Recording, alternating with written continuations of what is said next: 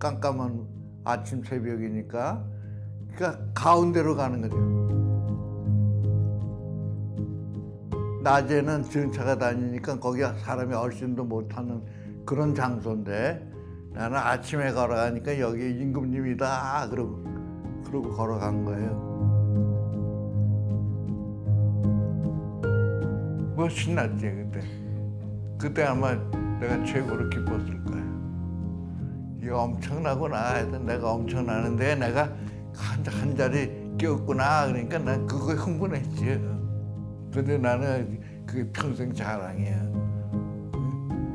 첫 직원님, 직원님 대신 날 복사했다. 나중에 신부님 되고 싶은데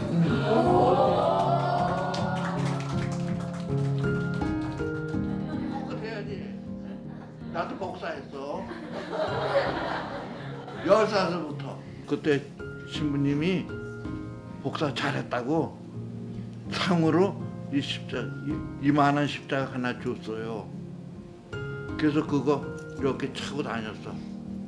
근데 내가 이렇게 십자가 준 거는 그때 생각이 나서 여러분한테 이렇게 십자가 준 거야.